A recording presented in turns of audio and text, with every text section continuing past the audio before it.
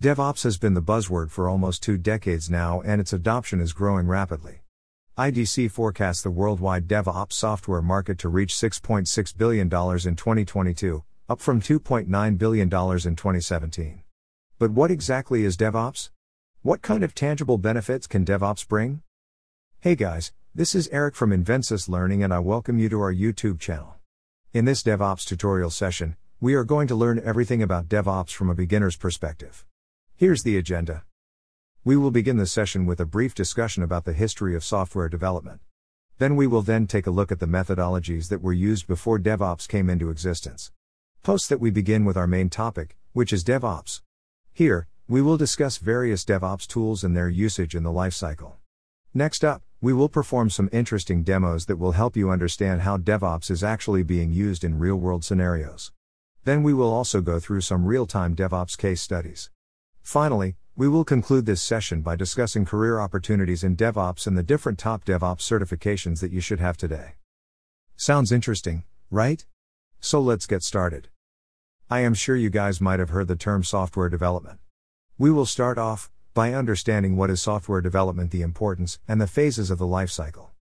Software development is nothing but the conversion of customer ideas into complete operational software. This process is known as software development. Software development is vast and it requires a systematic plan to release the software. And this systematic process is known as SDLC Software Development Life Cycle. So, what exactly is SDLC? SDLC basically stands for Software Development Life Cycle. It is the detailed blueprint that defines how software is developed, tested, and maintained the application. SDLC outlines the methodology for the betterment of application development. It is also known as the Application Development Life Cycle. And it is a long process. Software development life cycle breaks down the process of software development and helps us to evaluate the software development process. Software development has several phases, so let us see the phases that are involved in SDLC. The phases that are present in SDLC are requirement, design, implementation, verification, and maintenance. The requirement phase is also known as the planning phase, which allows the development team to get the requirements from the client. Once the requirements are documented, then the process will be moved further to the design phase.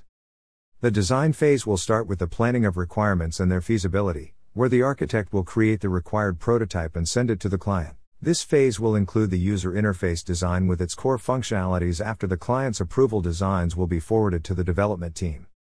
Here the implementation phase begins, by the name implementation, it is responsible for converting the designs to application code. The application code is created by the development team with all the functionalities. Post that, the code will be sent to the operations team for testing. Because, we cannot move the application directly to the internet without validating the code, so here the verification phase begins. Verification is an important phase inside the software development, so the code is verified using test cases, and there are multiple techniques involved in verification and store the reports for further use. If the verification is passed, then the code files will be moved to the live server, if not, the code will be sent back to the implementation phase. Here let us assume the application code is passed with all test cases, then the application will be deployed over the internet. There the maintenance phase starts, which is completely responsible for the maintenance of the servers and application and its dependencies.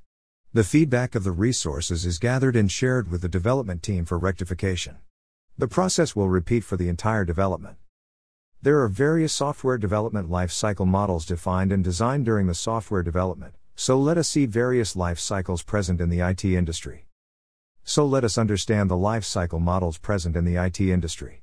We have four different life cycles that are followed in the market so that we will discuss one by one.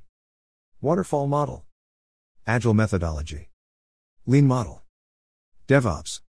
In the early stage of application development, this is a well documented process where the requirements are given and asks the developers to create software. To facilitate this process, we have followed a model called Waterfall, which is the oldest model in the development of software. Post that we have faced some problems with the waterfall model due to changes in the requirements on regular basis. So for having these changes our market adopt a methodology known as agile, where the development works based on the priority of the tasks and helps us to make shorter releases and fast delivery. Now, the work is being segregated into smaller parts based on priority after Agile, but the quality of it depends on the individual who is responsible for the task. So, to increase the quality of products, companies adopt a model known as the Lean model, which helps the individual to improve the quality. So these are the models that are used in the market prior to DevOps, but DevOps is used to achieve team coordination. This is an overview of the life cycles. Let us explore them further, starting with the waterfall model, which is the oldest model used for software development. What is the waterfall model? The waterfall model is a breakdown of project activities into linear sequential phases, where each phase depends on the deliverables of the previous one and corresponds to a specialization of tasks.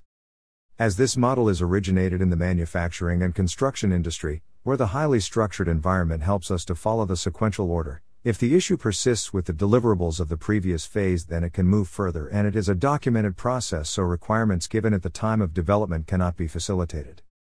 Pros It is a well documented process with well determined milestones. Cons Waterfall has a lot of drawbacks as it cannot have the application until the final stage is finished, and this is not suitable for object oriented projects. So far, we try to understand about waterfall model now we will see about the phases involved in it. There are six major steps involved in this model. Feasibility check. Analysis. Design. Coding. Testing. Maintenance. Now, if we compare this with our software development lifecycle, feasibility check and analysis comes under the requirements phase. All details related to the project were taken into consideration and checked for its feasibility. After confirming that the application can be built with the requirements, it will be further analyzed to finalize the complete requirement. Complete requirement analysis is given to the design team to create designs for it. And it will be analyzed again with the client for approval, and once approved, the application will be sent for development. Thereafter, the process remains the same as the software development lifecycle, i.e., coding, testing, maintenance. This is about our waterfall model and its phases. To overcome the drawbacks of the waterfall model, we have agile methodology, so let us start with the agile model. This is used to overcome the problems of the waterfall model, but we will see its features in posts that we will understand how to overcome the problems of the waterfall model in detail.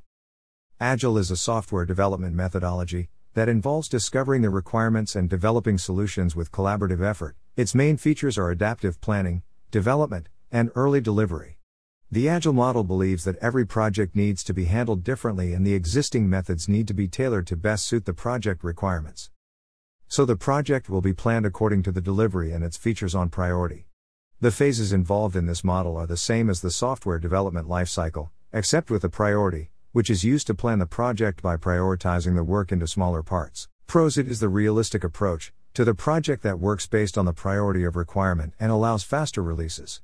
Cons By working with the priority to finish and release the application, sometimes the quality will be compromised, and if there's any conflict between the collaborated teams, cannot be resolved easily. This is about our agile model, but to maintain the quality, we have a model that works on principles, so let us see the phases involved in the agile model. In this slide, we will start with the phases of the waterfall model. Feasibility check In this phase, the team will get the requirements of the client and check its feasibility. Analysis Once the requirements are given, those are analyzed and sent for the design. The analysis will be shared with the client, and once it is approved and on, the final requirements will be sent to design. Design In this phase, the requirements are converted into designs or prototypes. Coding the approved design will be sent to the development team to convert design into application code. Testing the application code will be verified with the functionalities with the help of test cases. Maintenance after testing, the application will be sent to the production server, and the operation team will maintain the application. As discussed earlier, the problem with the waterfall model is with the dynamic requirements in the project. To overcome this, we have an agile model, so we will try to understand the agile model.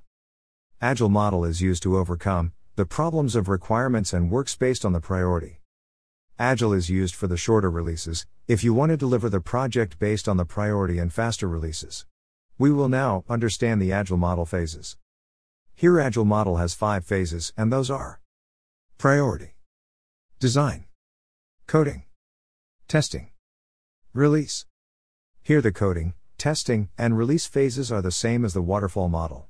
Agile does not follow the sequential order, and it works on a priority basis. In Agile, priority is the phase that is added additionally to choose the requirements. So this will helps the team to deliver the project faster by planning the features accordingly, but there is a problem with the quality of the project. So we will see how we can overcome this problem with lean model.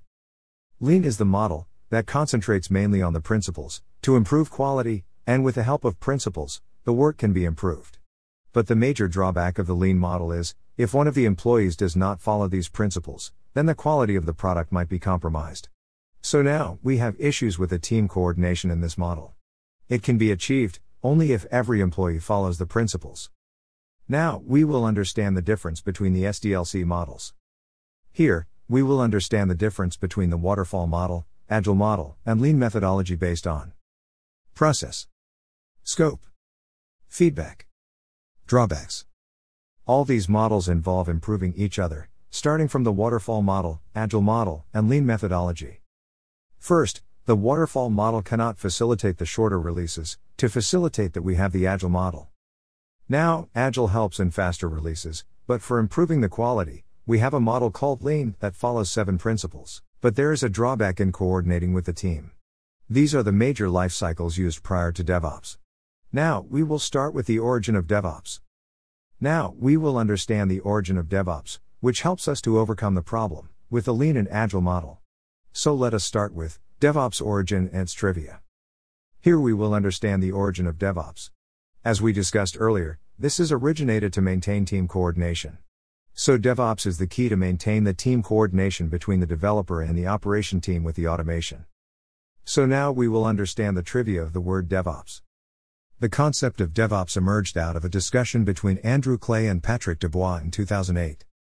They were concerned about the drawbacks of Agile and wanted to produce something special. The idea slowly began to spread, and after the DevOps Days event held in Belgium in 2009, it became quite a buzzword. DevOps is a combination of two words, developer and operations. As the buzzword started its expansion in the market, we will begin with the definition of DevOps. Now we will start understanding what is DevOps. DevOps is originated, with the drawbacks of the waterfall, agile, lean model. Now, we will see the exact definition of it. DevOps is a methodology used in software development to resolve the conflicts between the developer and the operations team. This process is automated with the help of automation tools to make the changes continuous, and which makes the maintenance easier. We have learned about what is DevOps.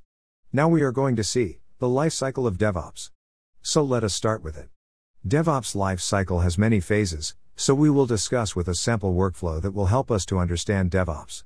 The development team is being assigned the features to an application. Now, the code files will be created and sent to the version control system to handle the code files shared by all other developers in the team. Once the version of the code file is managed, then we need to build the application. Building of the application will be done under testing server with the help of continuous integration, which helps us to integrate the application with the latest version of the code file. So testing will be done in test servers, with the help of various testing techniques, and once the tests are passed, the application will be deployed to the production server from which the application will be pushed over the internet. Suppose the test cases failed, or there are any issues with the application in production servers. In that case, they will be monitored by the continuous feedback system and shares the feedback with the developers to resolve the issues.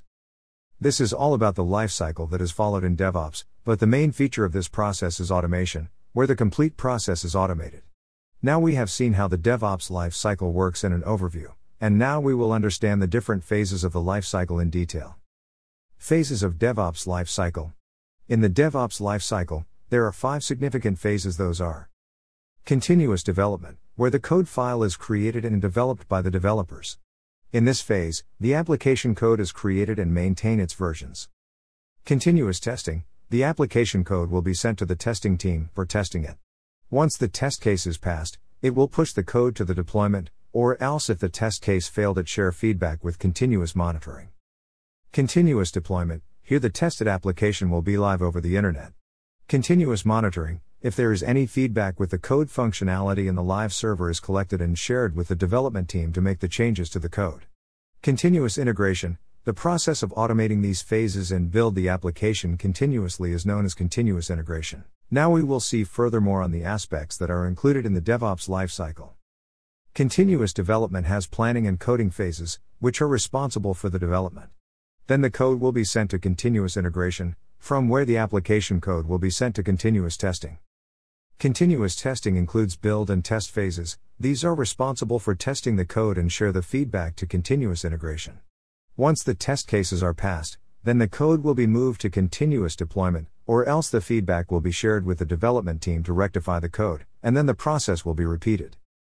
The continuous deployment consists of deployment and release. Once the application code is approved by the operations team, then it will be forwarded to this phase, where the application will be deployed and released over the internet. Once deployed, then the application will be monitored in continuous monitoring, and the feedback will be sent back to integration to inform developers of the updation. Here, continuous integration is the heart of DevOps, which will coordinate with all other phases of the DevOps lifecycle. All this automation will be done with the help of DevOps tools. Now, we will understand much more about the tools that we are going to use in this lifecycle. So let us start. The tools that we are going to cover in this tutorial are Version Control System, Container Orchestration Tool, Continuous Testing Tool, Continuous Integration Tool, Demo on Jenkins. Continuous Monitoring Tool. Configuration Management Tool. Terraform. So let us start with the version control system. Version control is required of a group of people working on the same file so that we can retrieve the data if the latest version got compromised. Now we will see why and how version control works. Let us assume there are three developers working on the features of the application in the same code file. It is hard to track the changes parallel, and there are a lot of issues while coding and integrating within the same code file.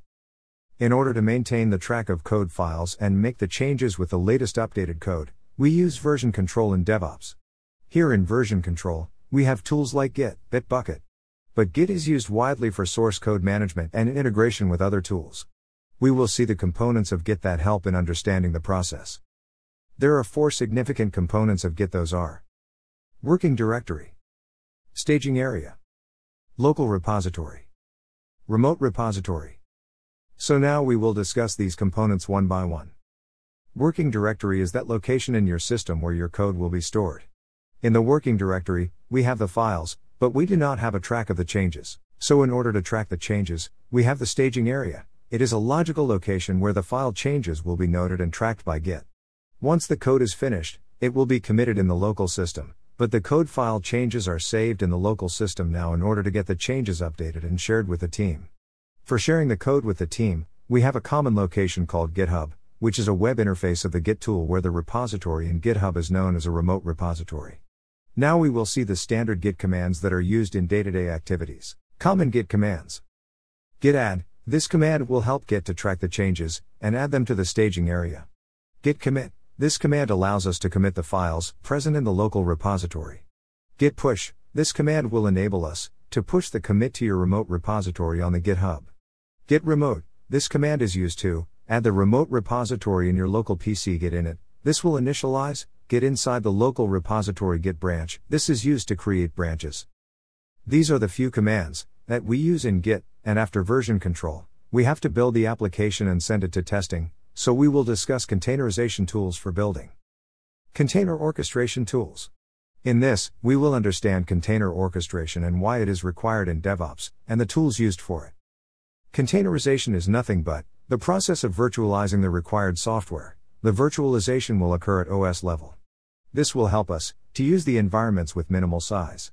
For this containerization, there are two primary tools one is Docker and another one is Kubernetes. These are the tools used to create the required environment for code execution. This is the basic definition of container orchestration now, and we will see a scenario of why this orchestration is required. Containerization is used to maintain the code dependencies and environment changes between the developer and operation team. Now let us take a look at the scenario below. The developer works on a feature and finishes coding, and sends the code files to the operation team, where the tester has no idea about the environment that the application is created, and the testing guy tests the application with his local system, with the difference in the environment. The code will not work due to these environmental differences, and the testing guy will inform the developer that the code is not working and send the code back to the developer. Now the developer will recheck the code, and the code works fine, so he sends the same files again, but the testing guy sends the code back to the developer by saying it is faulty code. There is a conflict, so to resolve this, DevOps engineers will set up the environment by installing the required software at the OS level. Now, along with the code files, we will send the required environment to execute the application code. So that the testing guy will run the application, and then the code will work fine. To pack the environment, we will use Docker. Since we have seen the definition of containerization now, we will see the tools that are used for containerization. Docker is an open source tool used for containerization. It is a computer program that will perform OS level virtualization. Furthermore, Docker has a lot of features Docker Compose, Dockerfile, Docker Compose, Docker networks that will help us in the smooth running of applications, and we can use multiple containers, and that allows us to run multiple applications under a single server. Now we will see some common commands used for Docker in its day to day activities. Docker is a tool, and Docker Hub is the web interface of the Docker tool. Docker pull, this command will help you to pull the image from the Docker Hub. Docker run, this command will help you to run the image into the container. Docker ps is used to list the container id. Docker exec command is used to enter the Docker container. Docker commit this will commit the container to image. Docker push, this is used to push the image to the Docker hub. These are the common commands used in Docker tools. So now we will see about Kubernetes. Kubernetes is an open source container orchestration tool developed by Google developers, which has more features than Docker. It is used for the health check of applications and helps create the API to our application with microservices. This will follow the master slave architecture, and the Kubernetes cluster is used to maintain the high availability of the containers. Now we will see the components of Kubernetes. Here, there are several components present in the Kubernetes master slave architecture. And Docker is the prerequisite to the Kubernetes as it will take the images from the Docker Hub. Now we will see the components of Kubernetes in detail. etcd, this is a key value store used to store all secrets of the cluster. API server, this is the front end for deploying all operations in Kubernetes. Scheduler, handles the dynamic resource management for the cluster by scheduling the tasks. Controller manager, this will combine all processes of the controller. Node, replication controller. Kubelet, it takes information from the API server and ensures application running with these specifications. Proxy, this will act as a proxy to connect with an external host. This is the overview of container orchestration tools now, and we will see the subsequent phases of the life cycle. Continuous testing is an important phase that will test the application code. This is handled by the operations team, so let us see more about the testing tool. Here, testing can be done with different techniques, including unit testing and manual testing, but in DevOps, automation plays an important role, so here we have Selenium for automated tests. Selenium is a portable framework for testing, and it does not require any new scripting language for testing. Selenium is a framework that will be helpful to test web applications and run functional tests. Let us see the components of testing. Here we have four major components in Selenium those are Selenium RC, Selenium IDE, Selenium Grid WebDriver. Selenium RC is a web server and that acts as HTTP proxy. This system is also known as Selenium 1. Selenium IDE is created as a Firefox extension, which will increase the speed of creating test cases. Selenium Grid will enable the parallel testing of multiple applications, which will minimize the time taken for its execution. WebDriver is the first testing framework that can control the browser from the OS level. These are the components of Selenium. Now we will see different types of testing present in the software testing. In software testing, there are two different types of testing those are white box testing, it is a test technique that ignores the system's internal mechanism and focuses on the output. Black box testing. Black box testing is a technique of research that takes into account a system's internal mechanism. It is also called testing of structures. And these are further divided into many testings, so let us see one by one. Black box testing, it is divided into multiple types, those are acceptance testing, this guarantees that the specified functionality required in the device specifications works. It is to ensure that the product delivered meets the specifications and performs as planned by the client. Beta testing, this is achieved by end users, an outside development team, or by publicly launching the full pre version of the beta version of the software. The object of beta testing is to deal with unexpected errors. System testing, it ensures that it still functions by placing the program in multiple environments, for example, operating systems. White box testing is further divided into integration and unit testing. Integration testing, test type in which to generate the output, a group of components are combined. Often, if software and hardware components have some relationship, the interaction between software and hardware is checked. Unit testing, it is an individual unit or group of similar units evaluated. The developer often verifies that the unit he or she has introduced produces the expected output against the input given. Now we will move on to the integration tool. Continuous integration is used to integrate the complete DevOps lifecycle. So now, we will talk about integration in detail. Continuous integration is the heart of the DevOps lifecycle, and this is used to integrate the code with the help of automation, and you will get the feedback quickly. It is also responsible for the deployment and maintenance. Jenkins is the best tool, used for continuous integration and deployment. Now we will see how integration will happen. The process will start by getting the code files from the source code management, and the code will be built with the help of a Docker container, and the application will be sent to the testing team, and the test application with automated test cases. Once test cases are passed, then Jenkins will convert the build to deployable WAR files to release the application. These steps are the primary process that is followed in continuous integration. Now we will see the Jenkins architecture. Jenkins will follow the master slave architect, and to connect with the master and slave, Jenkins will use the JNLP connection, which will connect with the help of Java and SSH. By default, Jenkins will be displayed over port 8080. Now, we will see a demo on Jenkins, how to integrate DevOps tools with Jenkins. Now we have successfully integrated the DevOps tools, now we will see about monitoring tools, which will help us monitor the production environment for application maintenance. Continuous monitoring is a process used to check and notify the potential risk and the functionality of the software. It is handled by the operations team to maintain the software. Nagios and Splunk are the essential tools that help us to monitor the application.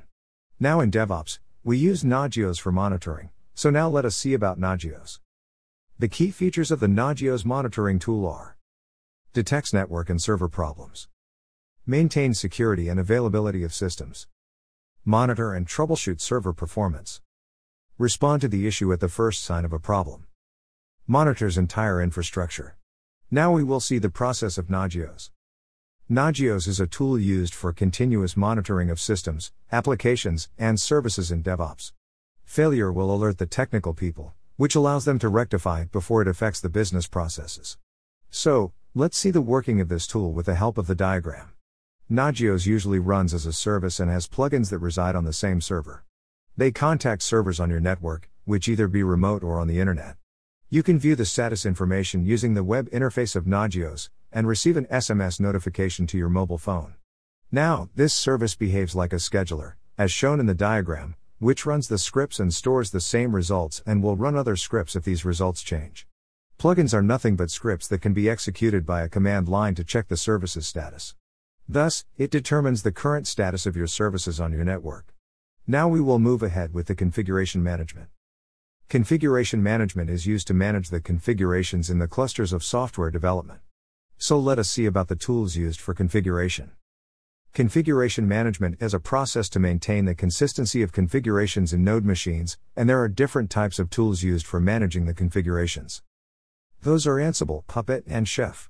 There are two types of configuration management tools that are push and pull configuration. Push configuration is used to push the configurations from the master machine to the node machines. Pull configuration helps nodes to pull the changes from the master. So let us start with the configuration management tools. Ansible. This is a push configuration tool that uses SSH and Python for connecting to the cluster. Puppet. This is a pull configuration tool and uses SSL certificates for connecting to the cluster. Chef. This is used to convert infrastructure to reusable application code. Chef uses recipes and cookbooks. Okay, let us discuss the architecture of configuration management tools. In Ansible, the configuration management will be done using a playbook with YAML syntax. The playbook will be written in the master machine, and push those to the node machines in cluster end. The cluster will be connected with the help of SSH and Python. Once there is any chance for the cluster to update, then the DevOps engineer will use a playbook, and that will help to maintain the consistency of configurations in the cluster. Now we will see about Puppet architecture. Puppet is a pull configuration tool that will help the nodes to pull the changes, and now we will see the connection between master and node. The relationship between the master and slave is connected through SSL certificate. First, the node will request a master certificate to check the configurations. Then the master will send the certificate and validate the node. Now, the node will update the details given by the master certificate and once changes are made, the node will send its updated certificate to the master. Thus, the connection will be established, and the configurations will be installed. Chef is a reasonably common IAC method. It uses DSL based on Ruby, and this is definitely a big plus. From the outset, it has cookbook versions and helps you to maintain a consistent setup.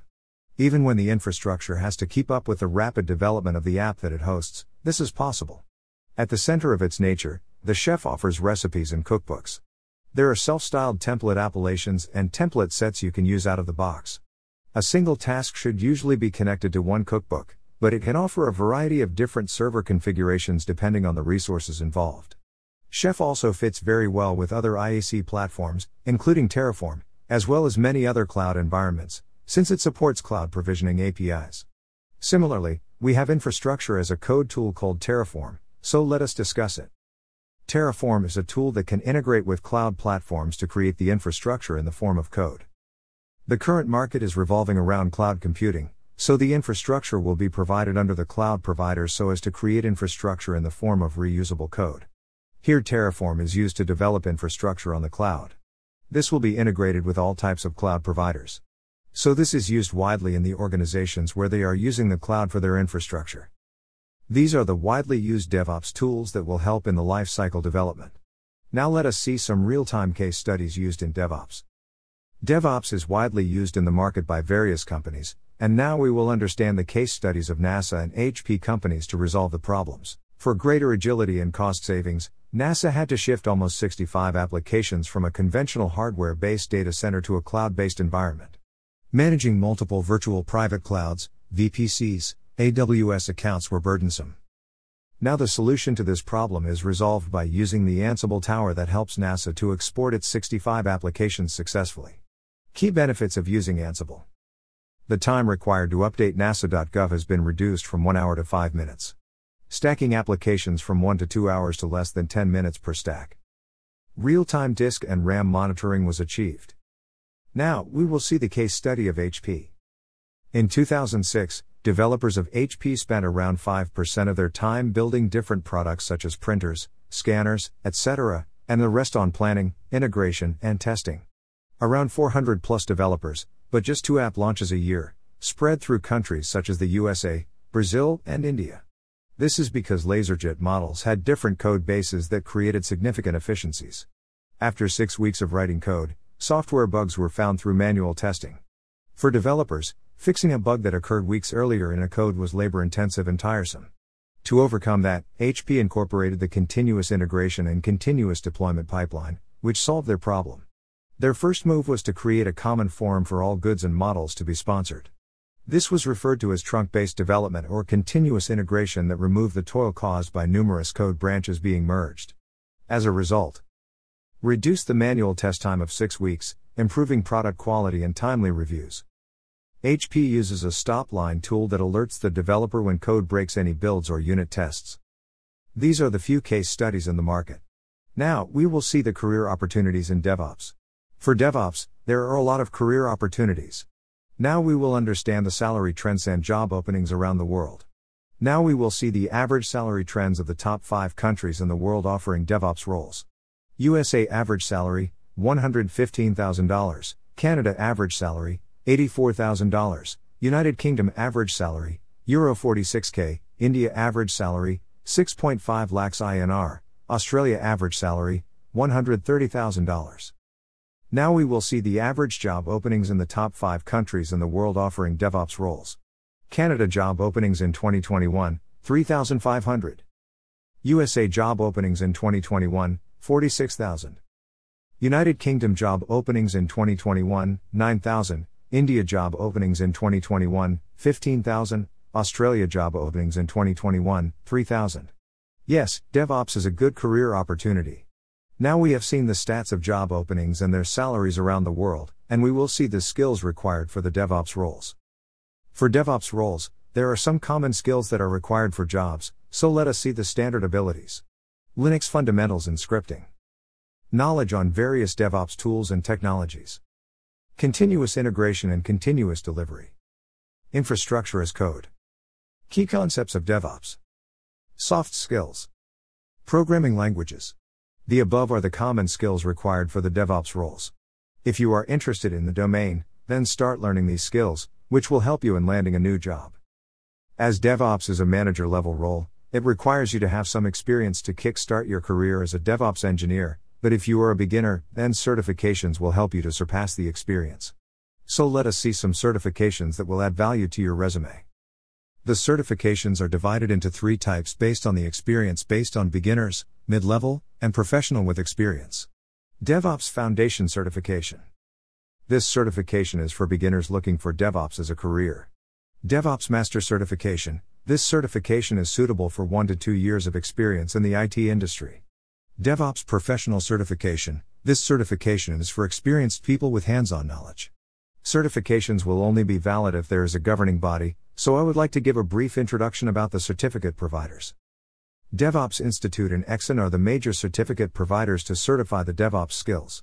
Both EXIN and DevOps Institute will testify the skills on key concepts of DevOps. For more details of training, reach out to invensislearning.com. DevOps Institute offers DevOps Foundation Certification and DevOps Professional Certification. EXIN offers DevOps Master Certification.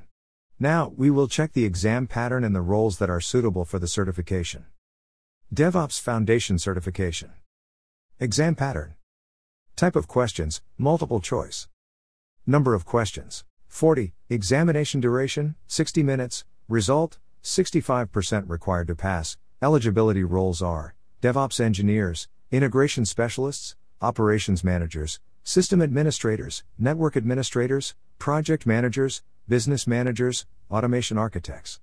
DevOps Master Certification Exam Pattern Type of questions Multiple choice, Number of questions 50, Examination duration 120 minutes. Result 65% required to pass. Eligibility roles application developers, service developers, product owners, agile scrum masters, project managers, test managers, IT service managers, process managers. DevOps professional certification exam pattern, type of questions, multiple choice, number of questions, 40, examination duration, 90 minutes, result, 65% required to pass. Eligibility roles, software and website, developers, system engineers, DevOps engineers, product and service owners, project managers, test engineers. Here are the references to the certifications exin.com, DevOpsInstitute.com. Hi guys, welcome to the demo on the integration of DevOps tools with Jenkins. In this, we will discuss how DevOps tools are integrated with Jenkins. Jenkins is a continuous integration tool that helps us to incorporate code continuously. Let us begin with the demo. For this demo, we need three virtual machines.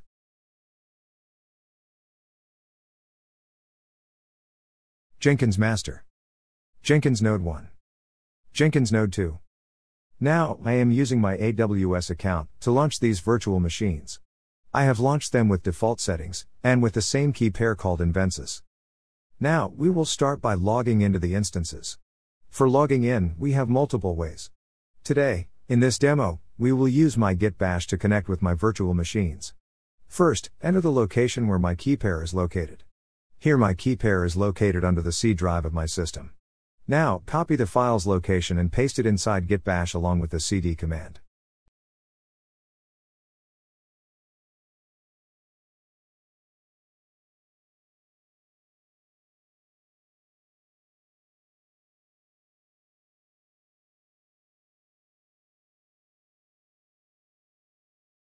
After entering into the location, run the chmod command that will help us modify the file's permissions and then run the ssh command.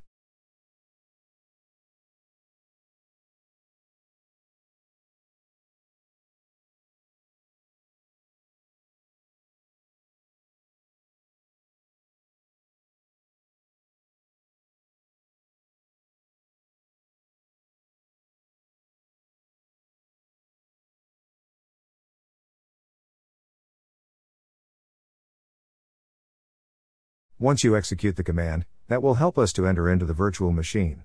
Let me clear the screen using the clear command.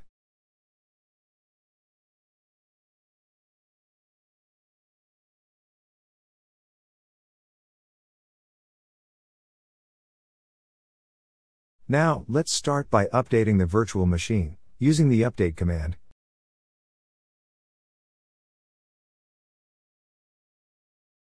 And once the system is updated, we can go ahead with the installation of packages. Now the machine got updated, so let us start with the installation of JDK. Use the command apt-get install this will install JDK in your system.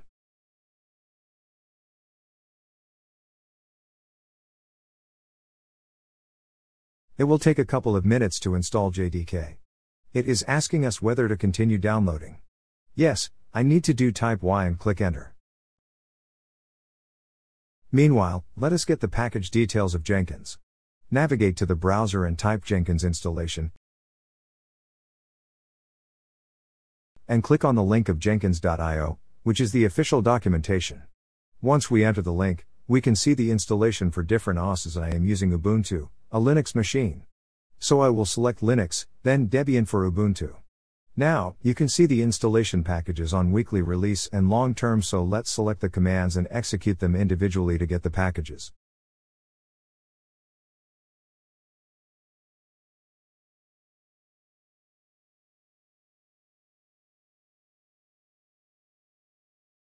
WJ command is used to get the key file of Jenkins,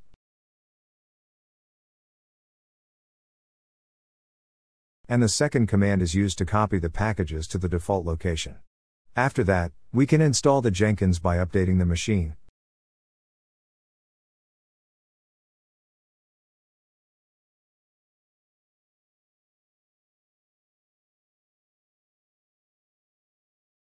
sudo apt-get update and install Jenkins will help us to install Jenkins inside my master machine. Click on Y to continue with the installation.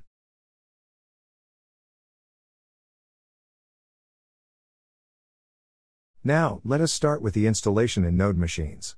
Go to AWS console and navigate to Ec2.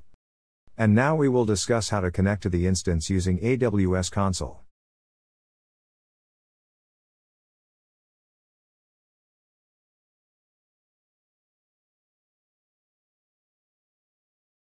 Click on Connect, and that will help us to connect the virtual machine.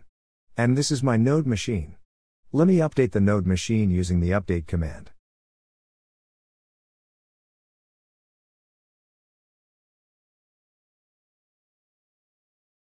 I successfully updated my machine and now will install JDK as it is a prerequisite for installation.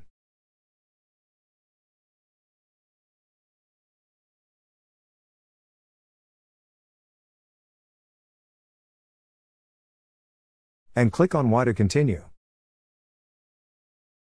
Let it install and meanwhile launch the second node machine as well using the same connect command available in AWS.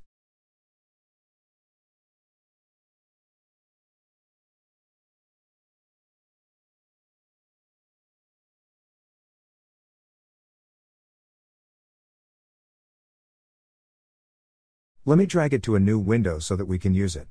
Now start updating the second machine, and install just click in it.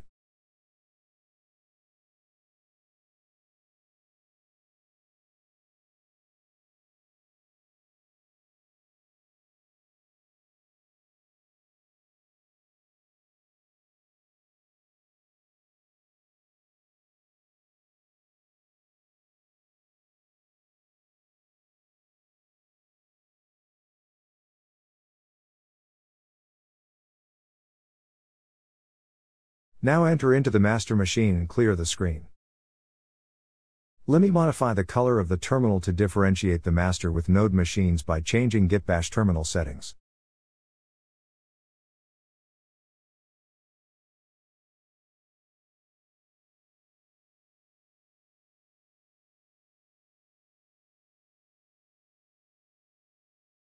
Now for master slave architecture in Jenkins, you need to provide keyless access to the nodes.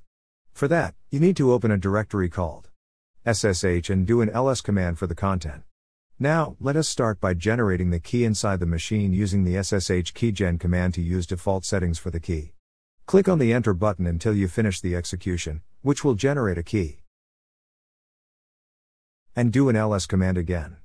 This time you will see the files added with names id underscore rsa and id underscore rsa.pub. These files have a public and private key that we have generated.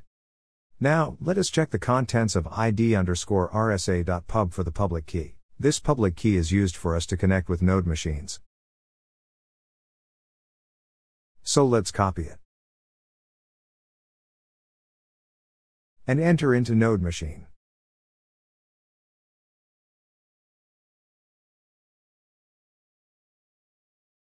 In the node machine, enter into the .ssh directory, and inside the directory, we have authorized underscore keys directory, and this is the place where we need to add the public key that will allow us to connect. So open the file with Nano Editor and paste the key copied from master and save it. For saving the file, use Ctrl plus X and then Y to save the changes. Once it is added successfully, we will check the current directory in the node machine using the pwd command. It shows .ssh directory in Ubuntu user, which means we are in local user, let us add to the root user as well. Use the sudo su command to enter into root user, and run cd command to enter default directory of root user, and then navigate to .ssh directory. And here, we have authorized underscore keys in root user as well and open it using the nano command. But this time, we don't see the copied key from the master machine, so copy it again and then paste it into this file.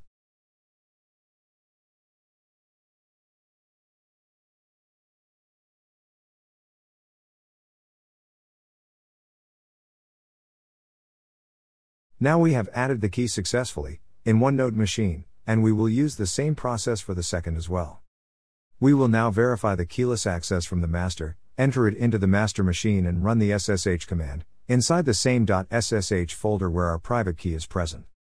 SSH Ubuntu at private IP to check the root privilege. And use the exit command to come back to the master. Check for both virtual machines.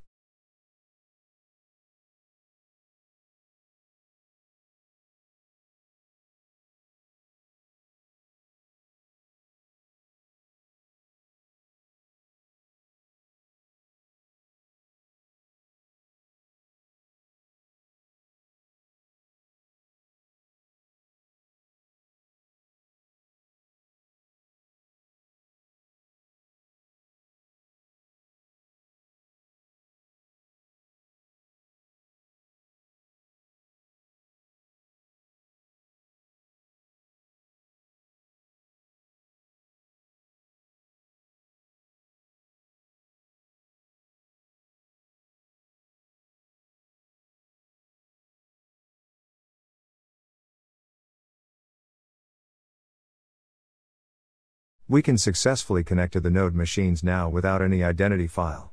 It looks good with access, so we will set up the Jenkins dashboard from where we will connect these nodes. Navigate to AWS console, and copy the public IP address, browse it over the internet with port 8080. We can see the URL changed to the login page, and here to unlock Jenkins, you need to have an administrator password. If you are new to this domain, don't worry. You can get the initial admin password from the given location, so copy the location and run a cat command in the master machine. Once the command is executed here, we have our initial admin password that is used to unlock Jenkins, so copy it and paste it in the browser and click on Continue.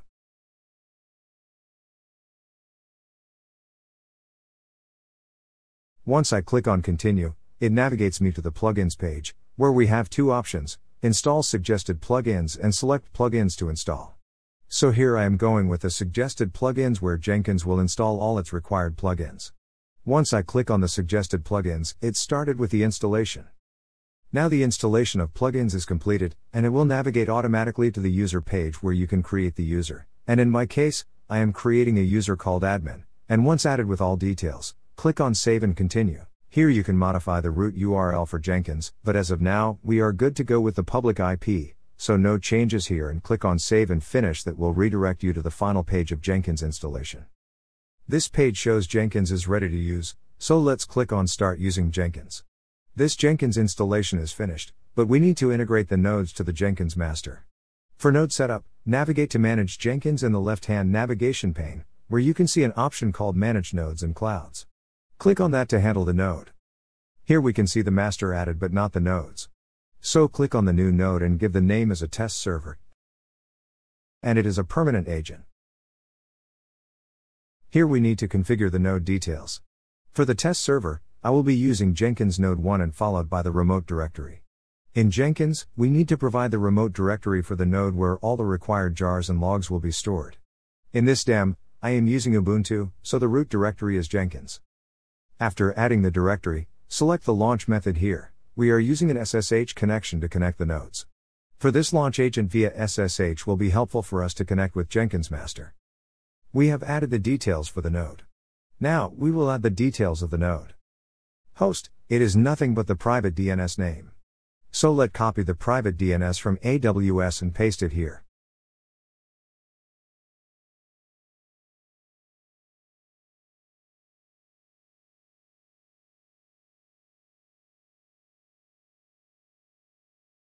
Now, the host is defined but to connect with this machine, and we need to provide the credentials. For us, there are no credentials available, so we will add the credentials. For adding credentials, click on Add, and now we are in the credentials provider by Jenkins. So here, let us configure the credentials. Kind, SSH username with the private key. Then the default details like username i.e., Ubuntu.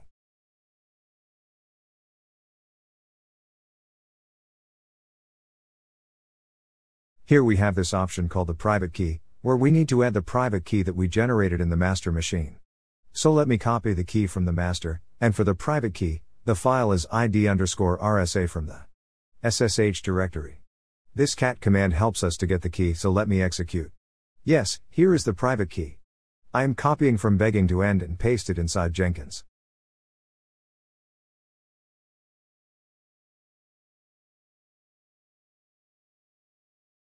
Now, I will click on Add, and add the credentials for connecting the node machine. Now under Credentials, we have Ubuntu credentials. After selecting these credentials, we need to use a non-verifying strategy for connecting. Everything looks good, click on Add. Once I click on Add, my node machine is added, and it takes a minute to connect, so let me refresh the screen. See now our node machine is connected successfully. Now let's connect the second node as well. Here my second node, will be for the production server Jenkins Node 2. And follow the same steps as Node 1, starting with the node description and remote directory and the launch method. Now for connecting, copy the private DNS address and paste it here. Here in AWS, this is my node machine, and copy the private IP DNS name of Node 2 and paste it here. We need not add the credentials again. We can select the same one used for the previous node from the dropdown and save it. Let me try to refresh the screen, but the node is still not active. Let's see what happened. Click on the production server and go to log. Where the log says no host file is present. Okay. Here the problem is with the verification strategy as we didn't add the host file in master. So let's modify it by clicking on configure. Here the strategy given is only for the known hosts, so let me modify it to a non-verifying strategy and see whether it works or not. Now click on relaunch agent. Now we can see that my node is connected successfully. So let us go back to nodes. And the node connection is successful. Now let us understand what we have done so far then we will move to the next step. Here, let me show you a representation of our demo. Let us assume this is my master, and these two are slave nodes. Let me name them so that you can visualize. We have connected master and nodes inside Jenkins and create a cluster with these three machines. As we all know, Jenkins is used for continuous integration now, and we will try to integrate a sample website using various DevOps tools. Starting with source code management tool Git and use Docker tool for building the code into an application. Now we will see the flow that we are going to implement in this demo. Starting from Git with the source code to Docker for building the application and expose it over the internet, we will use continuous integration to automate the process when there is a change made to the GitHub repository. And it will be executed in the test server and then push it to the production server that is Jenkins Node 2, and Node 1 is the test server. So let us start our development process on the test server. Let me refresh this connection. Now, I am on the testing server, and in this, I will create a local repository called test, where I will write all my code and push it to the Git repository. cd command helps me to enter into the test directory. And lets me clear the screen. For websites, we need to code here to reduce the complexity of code. I am using a sample static page with HTML syntaxes. sudo nanoindex.html will create a file and add some basic HTML content with background color and a heading now, close all the tags and save the file.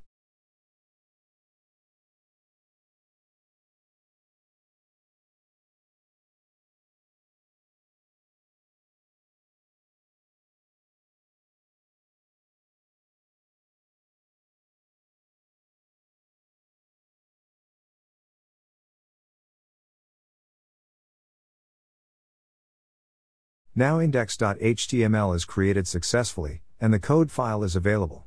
Now we need to add it git. But how to do it? You can initiate the git in this local repository using git init, and this command will help us to initiate git. Now git is initiated, and we can add our code files to the staging area using add command so let's execute it. And this dot represents the complete files now. Check the status of this file using git status.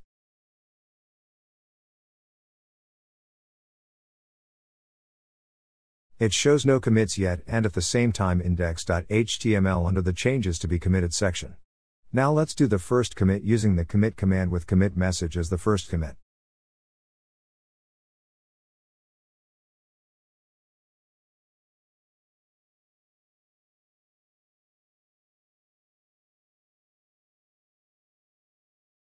And it throws us with the permission denied as this is because of the sudo privileges.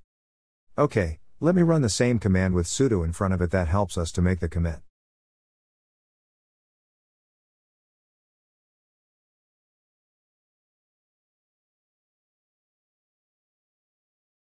Now it is committed successfully. Now the changes are added to our local repository, but it is not pushed to its repository. So let me log in into my GitHub account and create a repository. This is my GitHub account. Let's start with a repository. Click on a new repository that will redirect to a new page to define your repository name. The name should be unique, so here I am going to use demo Invensis tutorial to my repository. It is a public repository, and that's it. Click on create a repository that will create a repository in the GitHub account. Now my repository is created, but it has no files, so let us connect this repository to my local repository.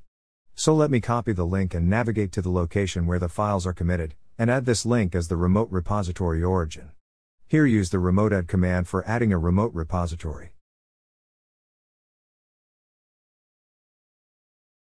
Once I click on enter, this will be added as a remote repository. The remote repository is added successfully. So we can push over changes to the remote repository using the git push command, After executing push commands, it asks for username and credentials, so let me give my credentials, and this will push files to the Git repository. Now the file is pushed to GitHub, so let's check it by refreshing the remote repository. Here, after refresh the screen, we can see the index.html available. Now, to automate the process, there is a feature called webhook which will trigger an alarm at the given URL. So we will create a webhook. Click on the settings of the repository here, and in the left navigation, here is an option called Webhook, so click on it. Now Add Webhook has several parameters, but for this demo, the major requirement is the payload URL. Here payload URL is nothing but the place where we need to trigger the alarm, here, in this case, my payload URL will be Jenkins URL. Let us copy the URL from Jenkins and paste it inside the payload URL. Once added the URL, then add an extension as GitHub Webhook. This will trigger the GitHub at Jenkins job, here we are using this webhook for push events, and this will trigger if a push happened to the repository. Then the webhook will trigger and click on Add Webhook that will create the webhook. Now, we will start with the new job to push the code. To push the code into Jenkins, first test the webhook. So give the name of the job as a test, and it should be the freestyle project, and after clicking it will help us to add the project details. Now, we will start with the job configuration. Here we need to provide the GitHub URL as a source code and the project URL, and we are going to restrict it to the test server as we are in the testing phase. Let's copy the URL and paste it into the job. And same for source code management.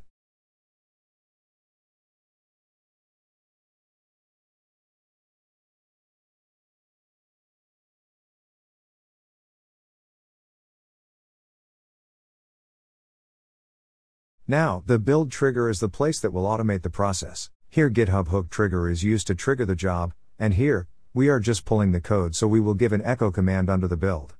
This executes shell will help us run the required commands for our build and click on save to create a job. Here there is no build as of now, so let us push some changes to GitHub and let us see whether the job is triggered or not. Here we will repeat the earlier process of pushing the code from the test server. To add the changes, we will now create the new file called home.html and save the file.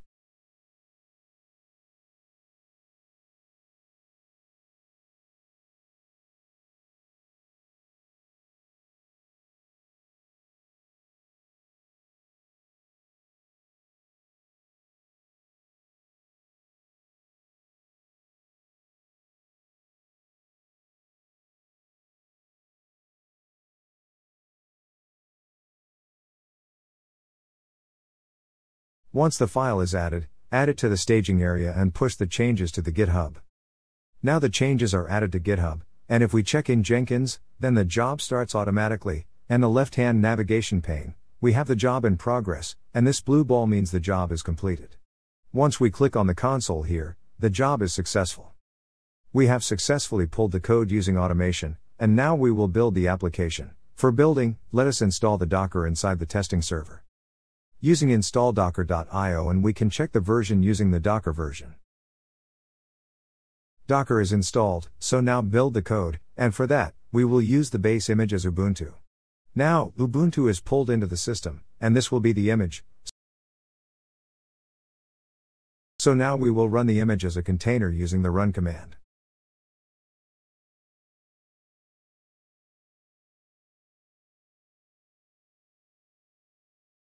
And Docker PS will help us to see the image,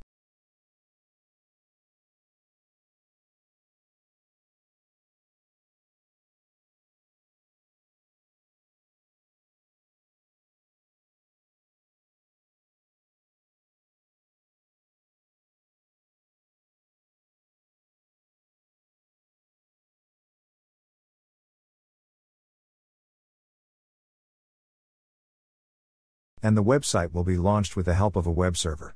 So, let us install the web server in the container. Now we are in the container and start with the Apache installation. Using install Apache 2,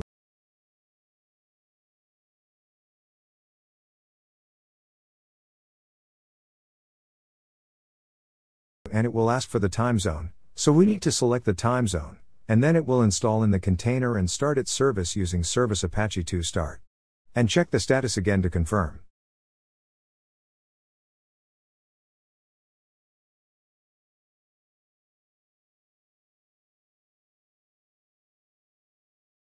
Now go to AWS console and copy the IP address and browse over the internet and see the output of it. For checking the output, we will now copy the IP and browse with the port. Here we have the default page over the browser. This shows my web server is created successfully.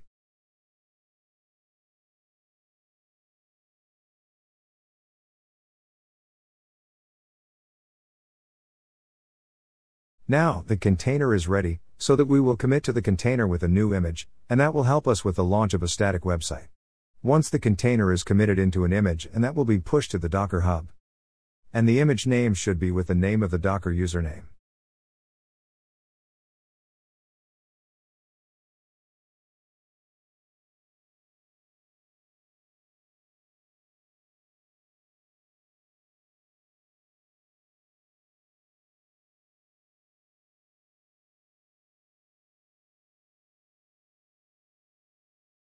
First, let us log in into the Docker Hub from the Ubuntu machine and then push it to the Docker Hub. Now we will run the push command, which will help us push to the Docker Hub. From where we can pull the changes back anywhere from the internet. Here is the image that I pushed from my local machine. Now we will start building with the help of the Docker file. And Docker file is used to automate the container process.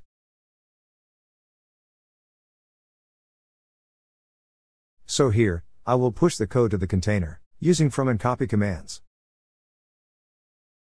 Now the Docker file is ready to add the changes to the GitHub, but before that, we will create a job to build the application. So we will start with the second job to build the application. The job remains the same except for the execute shell where the Docker commands are used.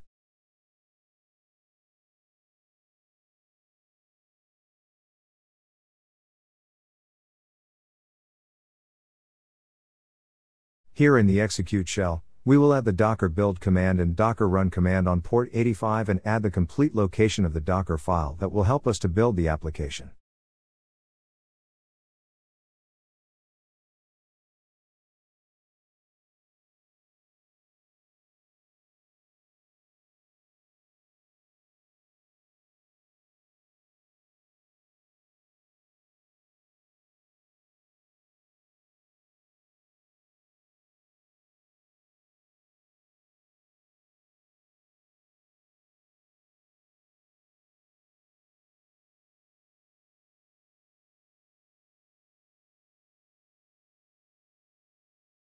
So here we have executed the first job and we'll use the same directory for building the application.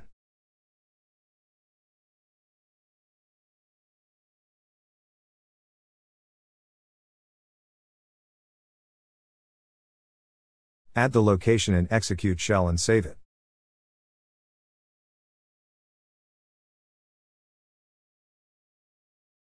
We have post build action, which will help us to run the second job.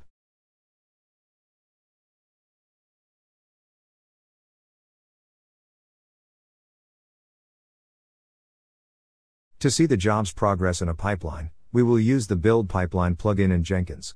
Now, navigate to the Manage plugins. And download the Pipeline plugin under the Available section and click on Install without restart.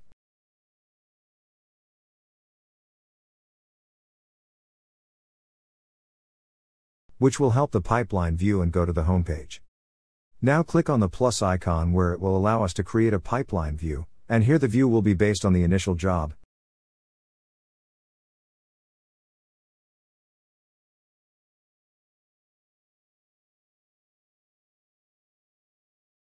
So the test job will help us to trigger the restart view as continuous integration.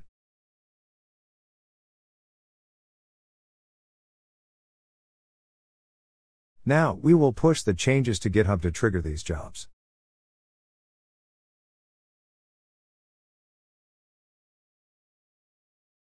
So add the changes to the staging area and commit it.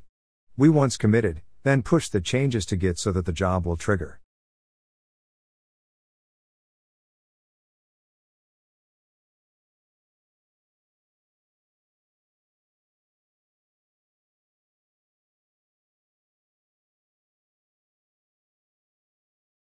Now we will refresh the screen to see the changes. Now, we can see the jobs in green that means the job is successful. But our build should be continuous on the same port, so we will remove the previous and build again. Let us check the output, but it is not showing because the service is not started yet in the container, so that we will start that.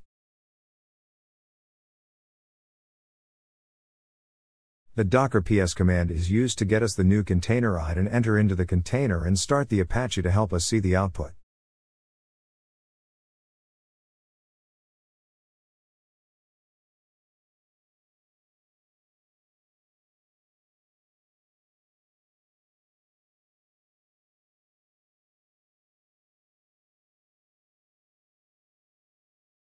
Once we start the service, then we can see the website over the internet, and slash home.html will display the home.html page.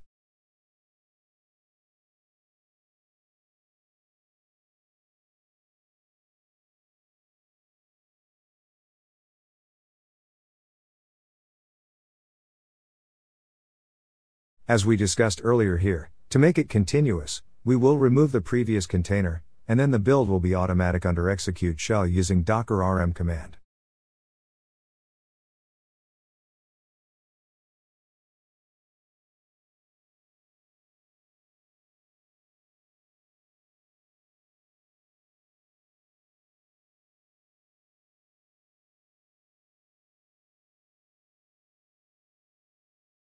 Successfully added the remove command. Now we will test it by running the pipeline view. For now, we will modify the home.html and then push to GitHub for triggering.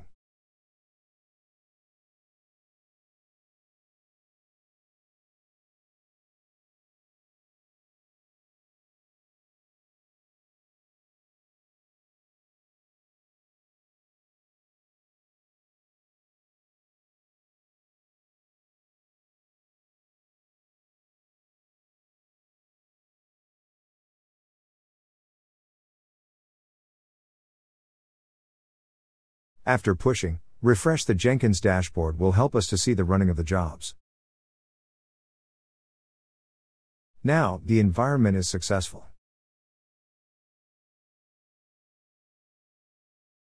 So we will deploy the website to the production server. So to push the changes, we will start with Docker installation.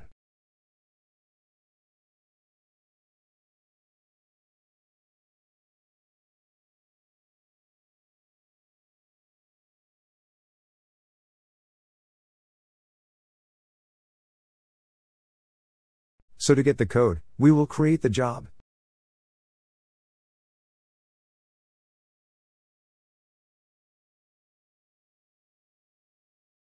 And then the job will be restricted to the production server, and that will get the code into the instance.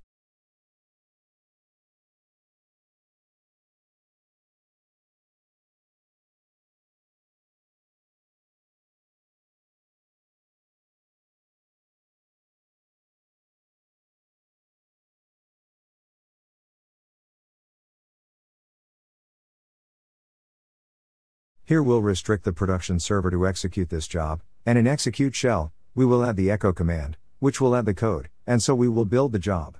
Using the Jenkins dashboard and then the job is successful once the job is successful and enters into the production directory of the instances.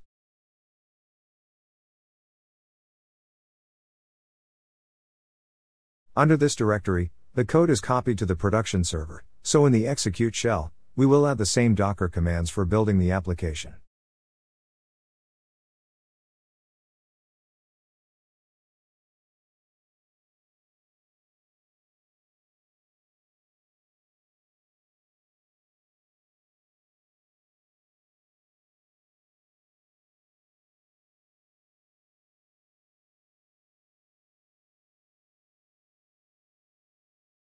After creating the job and making the application automated, add this job to the post build action of the previous job under configure.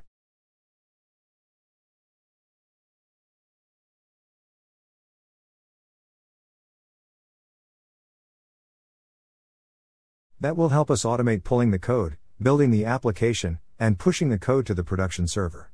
And we will check by executing the pipeline.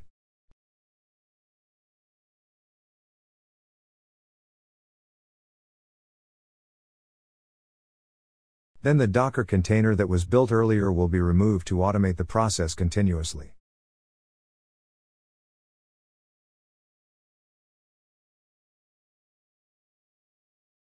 Now, everything looks fine, so run the pipeline to recheck the job status by pushing the changes from the local repository. For that, I have modified the code and pushed it to GitHub so that the jobs are triggered.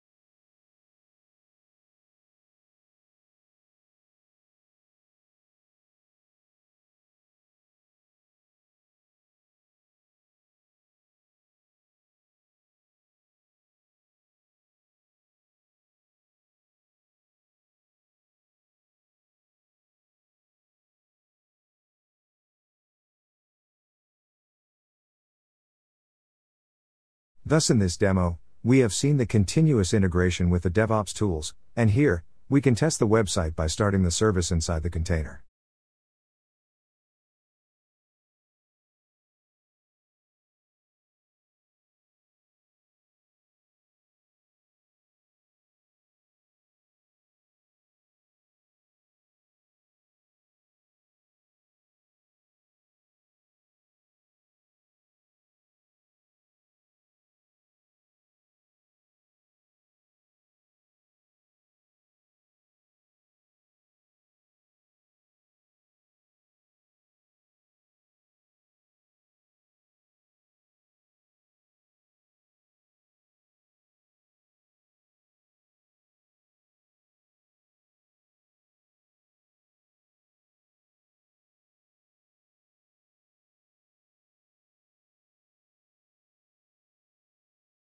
Thus, the integration of DevOps tools with Jenkins finished by checking the website using public IP over the Internet.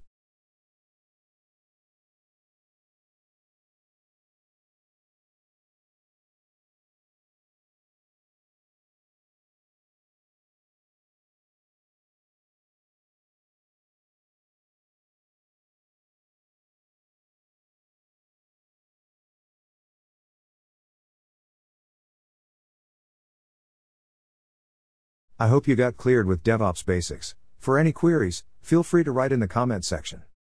On a concluding note, the DevOps career presents promising opportunities for a flourishing career.